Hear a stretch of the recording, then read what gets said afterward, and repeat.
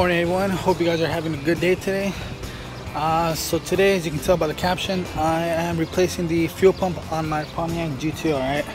Uh, so far it's been pretty straightforward, it's not too hard. Uh, you want to make sure that you open up your fuel lid, alright, before you disconnect the uh, battery. Or just, just make sure that this is left open.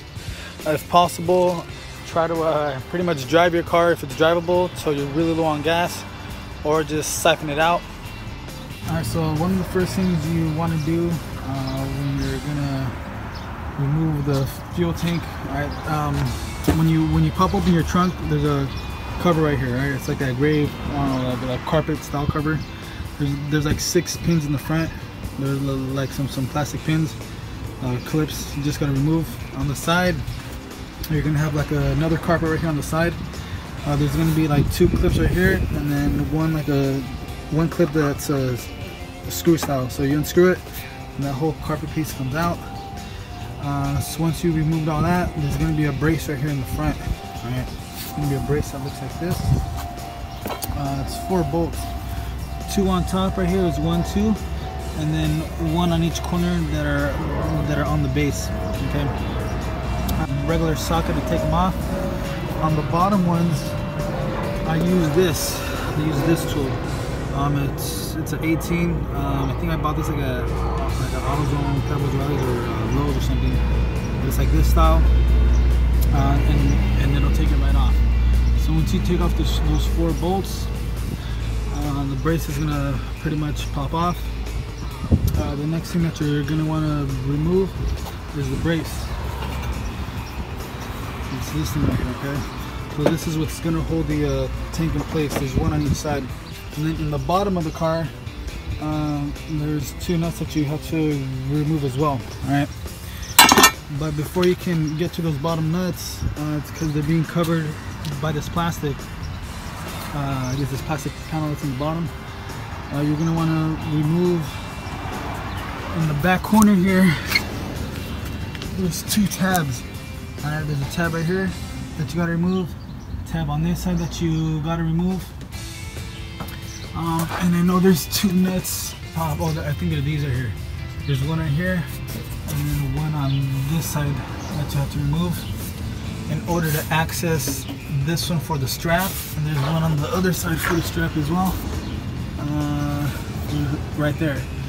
Before you can pull that panel off though, you need to remove the uh, speed sensors. Um, there's just little clips that they that they slide out. One here and then one here.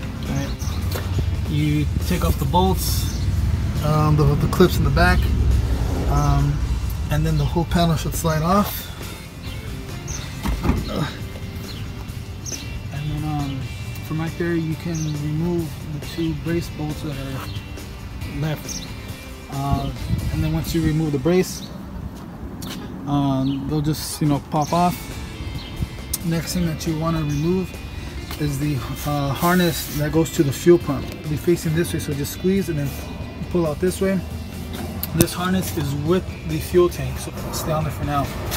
Uh, and then for the fuel filler neck on this side um, you're gonna want to take off these three bolts. I think those are 10 mil. It's gonna be kind of hard to push it down. Push it down pops out. Uh, just move it out of the way. And then the fuel pump itself you might have to like push it forward up and then like pop out okay? It might get lodged on on this piece a bit. Um, oh you know what? I forgot an important step. Uh, before you can even remove this fuel pump or pull it out there's two connectors that are outside in the bottom okay? Um, so the way they look like so this is their exact position as well, okay? Um, on this one over here, on this one I should say, this was one that was a bit more more tougher to get out. Uh, I seen a guy on YouTube said to spray some, some WD-40, so I did. Um, it's a tight space, but to remove this clip, let me show you. Push it in, and then pull down, but you have to push it in like almost all the way, and then just pull straight down, and it'll pop out. Again, you're gonna, when you're looking from the bottom up, you're gonna see a plastic ring that's larger than the diameter of this you're gonna wedge a flat screwdriver in the middle pry it out a bit you know um, not all crazy because you don't want to break it, but just pry a bit. And at the same time, be pulling down and then working on, on, on the other side as well. This one was the one that was a little tougher. Again, just push on this tab right here. Exactly where my thumb's at. Push in real deep and then pull down. Okay. Uh, once you take these nuts off, the straps are unbolted, the connectors off, then the whole thing should just pop forward and uh, slide out. And then from here, uh, just pull out the fuel tank. Alright, so the next thing I did was I cut this strap. I removed this uh, strap right here, uh, the tie down for the uh, filler neck hose. Okay, and then from there, there's like these tabs right here. There's maybe like one, two, three, four, five. I don't know, like like six or eight tabs around the whole thing you just gotta press in. Once you got this removed and the strap off, then just just work on those tabs, and then the rest of it should just uh, pop right off like that. And that's how you remove the uh, cover from your uh, fuel tank. Uh, next step is we're to start working on the uh, the lock retaining ring, I guess, the connections, and pull out the fuel pump, and then uh, we'll just go from there.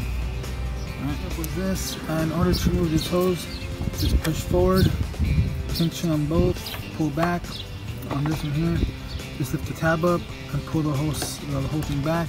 On this gray one, uh, just pinch here in the front and pull it straight up and you're good to go on that one. And then right here is where the uh, locking rings are. So of course the left is to make it loose. So I'm gonna tap them towards this way. I'm gonna tap here, tap here, tap here, and so forth.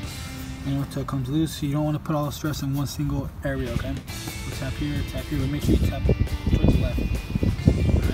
Um, and then once you're gonna remove it, they hit, they have marked it here. So then to make it easy for you to check if it's came loose or not. When you're gonna put it back, I'd say just put this mark under this tab. I saw in order to pull out the fuel pump, um, for that connection down there, there's this wire right here.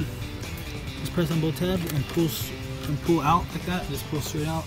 On this one right here, it was a tight fit, but it goes to the top right here. Uh, to pull this one out, I just had to pretty much pinch this side and the other side down, down at the same time, and then it'll pop out. Okay.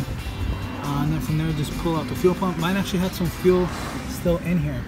So what I did, just lean over the pump and you know just pull the fuel back in there because it'll still fill up with uh, fuel in this uh, container here. Okay. And that's where we're at. Tab that you have to push in first. Once you push it in, at the same time you move this bar up. So now it's clear, and then you can just pull it straight out now. Okay.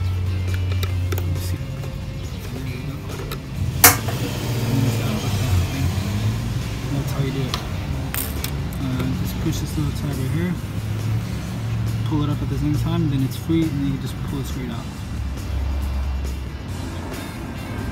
In case you guys forget, um, before you can take this bottom section apart, you gotta lift up on these tabs. You gotta make sure that these are unplugged. Just make sure that you put them back in the same place.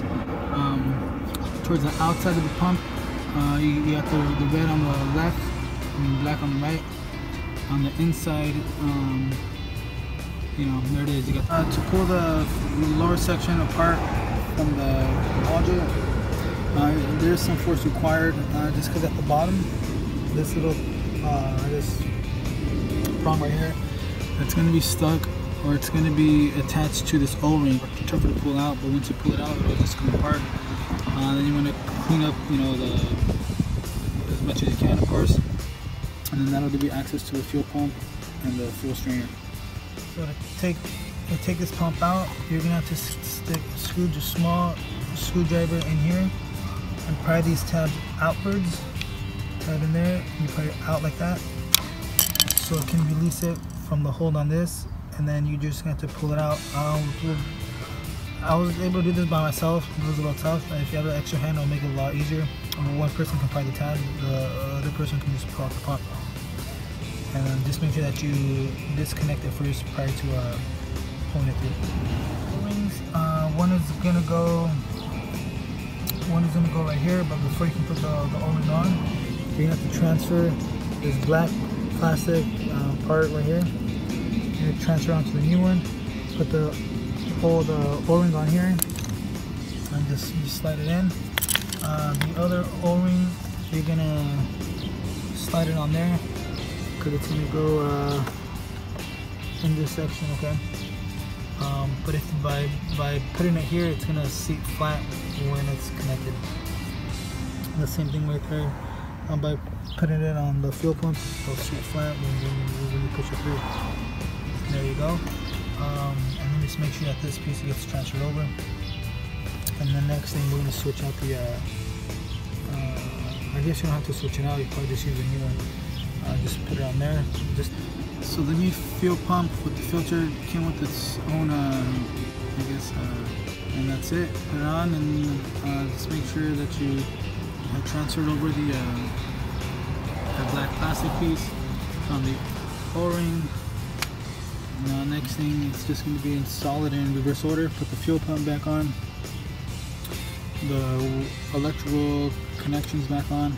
Slide this back onto here connect the, the wires back in the same location connect the fuel level sensor back onto here um, and then connect these two uh, once again put on the lock ring and then start to connect the uh, top rings right here the top right here and this one. Slide the, the pump back in you know the tank back in make sure that you uh, put the cover back on. If you want to put a zip tie on this end right here, so, so it looks nice and clean. And then put the straps back on. that'll hold it in place. The two nuts on top, the two in the bottom of the car. Uh, so pretty much just in reverse order. Uh, if you guys have any questions, just uh, look back through the video. Um, if I didn't answer something or if you guys have a question on something that I didn't show, uh, just leave a comment below. Uh, but I hope you liked the video. It was pretty straightforward. Uh, I went with the DeatschWerks DW uh, fuel pump. Part number is going to be right here. 9309-1008 and it's specific to the GTO. It's a drop-in. It's pretty straightforward. Uh, pretty easy to do so far. So I hope you guys like it. Peace out. Later.